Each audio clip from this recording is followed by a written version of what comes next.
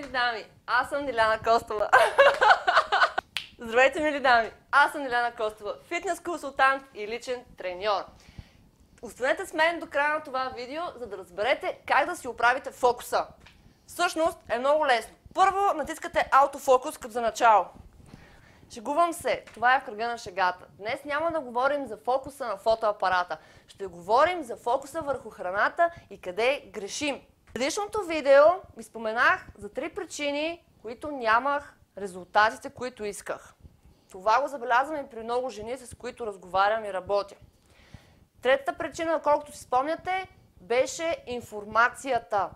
Ние сме заляти от океаната информация, всевъзможна. И всъщност обръщаме адски много внимание и се фокусираме върху много древни и незначителни неща и губиме фокуса от цялостната картина. Какво имам предвид?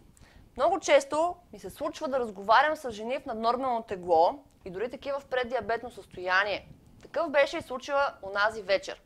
Получих имейл от едно момиче, което е в преддиабетно състояние и ми споделя, че всъщност тя е изключила от много време а, сладкото, безалкохолните напитки, буклуците, според нея, като храна. И въпреки това продължава да бъде в нормално тегло. Съответно, тя се чуди къде греши. Нейният фокус в случая е грешен. Но не греши само тя. Грешим всички. Включително и аз бях по същия начин. Мислих си, че има храни, които са здравословни, съответно можем да ги ядем в неограничени количества. По-правилният фокус в този случай би трябвало да бъде не конкретната храна, че е грешна или вредна или полезна, не конкретиката, не тази дребна подробност, а голямата картина, а именно калорийния баланс. Ще ви дам още един пример. Наскоро проведох разговор с наша клиентка, която е в наднормално тегло, с инсулинова резистентност и автоимунно заболяване. Тя ми сподели, много развълнувана и много горда от себе си, разбира се, че е направила здравословна торта. Слагам здравословна в кавички. Използвайки моята идея за чизкейк, тя е подобрила блата.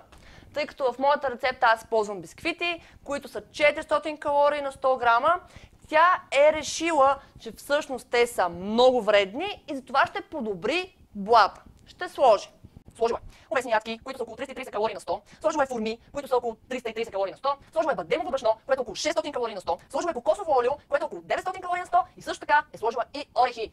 Просто не е стигнало всичко до това нещо и е сложила и орехи. По този начин тя е направила блата много калоричен.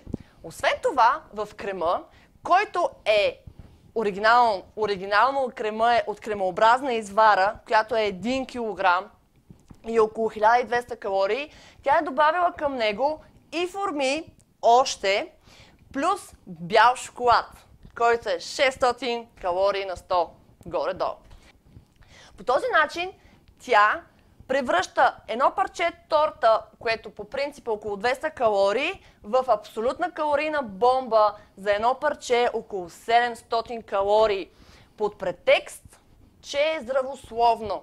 Фокусът тук отново е грешен, тъй като тя се е фокусирала върху конкретен избор на храни, които са здравословни, но висококалорични, вместо да се фокусира върху общия калориен прием.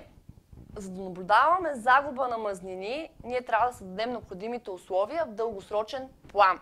Ще ви припомня първото ми видео, в което казвам, че все пак е много важно и физическото натоварване, за да можем да губим мазнини, не просто някакво тегло.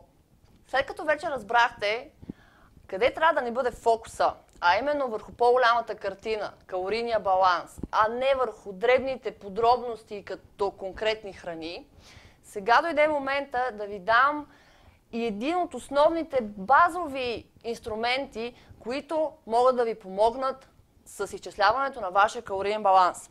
Това, което виждате, е една от многото формули, с помощта на която може да изчислите колко калории трябва да приемате на ден. Избрала съм да ви дам тази формула, защото е най-лесна за изчисление. В интернет може да видите още много.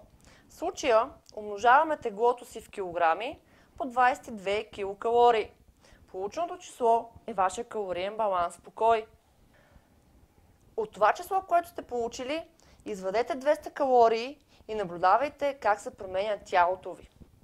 В следващия видеа ще влезем по-подробно в това, кои са принципите, които да следваме при избора си на храна. Колко точно белтъчини, въглехидрати и мазнини имаме нужда. Очаквайте следващия епизод 5 конкретни стъпки, с които да започнете промяната. Мили дами, благодаря ви, че останахте с мен до края. А сега, нека всяка от вас остави в коментар тема, която според нея е интересна и би искала да види видео. Коментара с най-много лайкови ще бъде едно от следващите ми видеа. Не забравяйте да се абонирате за моя YouTube канал и също така да споделите видеото с вашите приятели, ако ви е харесало. Благодаря ви и до скоро!